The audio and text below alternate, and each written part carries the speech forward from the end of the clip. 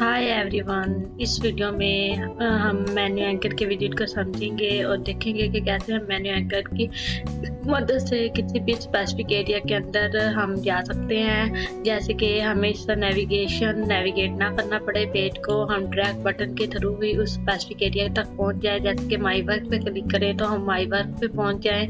और free start free पे click करें बटन पे तो हम उस स्पेसिफिक एरिया तक पहुँच जाएँ। तो हम ये सब कैसे अचीव कर सकते हैं, हम ये मेन्यू एंकर की मदद से कर सकते हैं। तो अब हम सीखते हैं कि हम कैसे ये क्रिएट करते हैं और मेन्यू एंकर को यूज़ करते हैं। तो अपनी वेबसाइट में आ जाते हैं डैशबोर्ड में। डैशबोर्ड में आने के बाद यहाँ पर बेसिकली ये बटन दिए गए हैं और इसमें हमने मेन्यू एंकर के लिंक ऐड करने हैं। यहाँ पर बटन में होम इन्फो और टेस्टमोनियल और वर्क का ये बटन क्रिएट किए गए हैं। क्रिएट करने के बाद अब हम इसको होम के मेन्यू एंकर को लेंगे। मेन्यू एंकर के विज़िट को यहाँ से सर्च करेंगे और उसके बाद हमने होम के साथ लिंक करना है। मैंने सिंपल, हम इसे यहाँ पर लाकर, यहाँ पर ड्रैग एंड ड्रॉप कर देंगे। ड्रैग एंड ड्रॉप करने के बाद हम सिंपल इसके ऊपर क्लिक करेंगे और यहाँ पर एक आईडी देंगे। आईडी जैसे होम के बटन पे लेके जाना है तो हम होम की नेम की ही आईडी देंगे। होम और उसके बाद यहाँ से होम में आएँगे और होम के बाद यहाँ से इस पे बटन पे क्लिक करेंगे और जो हमने आईडी इधर दी है आईडी इस मेन्यू एंकर के अंदर इसको यहाँ से सेम यही वाली लिखनी है।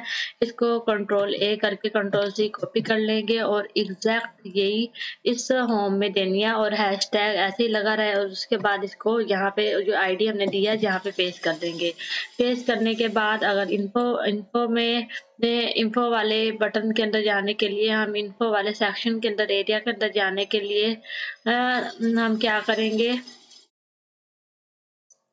इस ये इन्फो वाला एरिया इन्फो वाले एरिया के अंदर जाने के लिए यहाँ पे हम मेन्यू एंकर का विज़िट को ड्रैग एंड ड्रॉप करेंगे।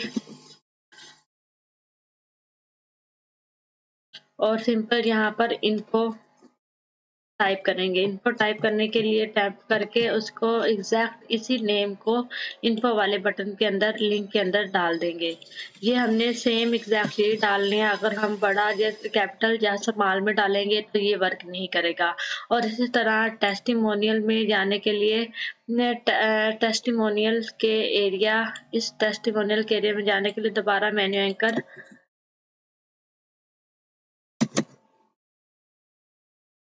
विज़िट को ड्रैग एंड ड्रॉप करेंगे और यहाँ पर नेम उसका देंगे टेस्टिमोनियल वाला।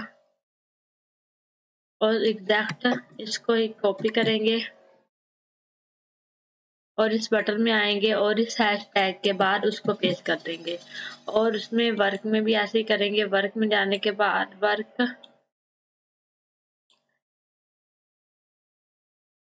इस वर्क में, वर्क के मैंने एंकर को ड्रैग एंड ड्रॉप करेंगे और यहाँ पर वर्क लिखेंगे।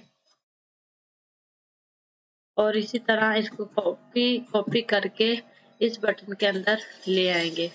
बटन में आने के बाद यहाँ पे पेस्ट कर देंगे और सिंपल अपडेट कर लेंगे।